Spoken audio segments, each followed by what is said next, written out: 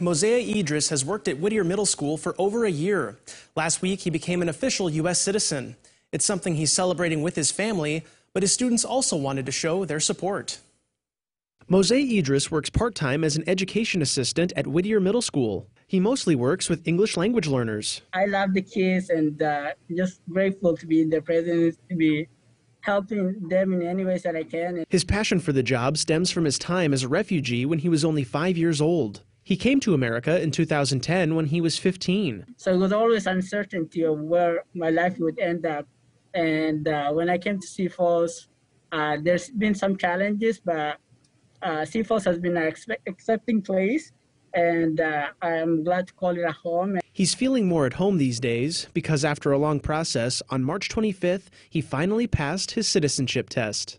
The test was not that hard because uh, these classes they help me understand the American history more. So that really helped me too. So so I got with one of the other teachers and I said we should do something special. Upon hearing the news, his coworker Tessa Noller wanted to do something special to celebrate. He told us he was going to take the test and he was going to be gone. And the kids are always so sad when he's gone. We're all sad when he's gone because he's our little angel here. He helps so much. The following day after school, Idris was greeted with hugs and cheers from over 200 of his students. There was all the kids, and I was so surprised. And that day was just it's just something that you don't see every day, so it was very special for me. He is awesome, and that we all appreciate him here, and especially with he helps out a lot and is a big inspiration to our kids, so they can see that you can do it. Noller says that the kids learn a lot from Idris, but he says that he learns just as much, if not more, from them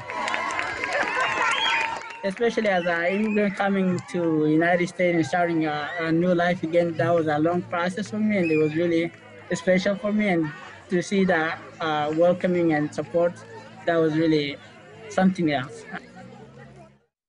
Now, Idris is currently working to earn his bachelor's degree at the University of Sioux Falls. He also works with the kids at the Boys and Girls Club.